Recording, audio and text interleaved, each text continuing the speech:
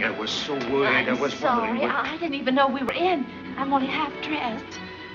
Look, if everything turns out all right, for both of us, I mean, in six months, Yes, that's July. July, yes. I've written out these directions. Read them carefully so there won't be any mistake. Darling, that's me. Mm. July 1st, 5 o'clock, 102nd floor, top of the Empire State Building. Yes. That's it right there.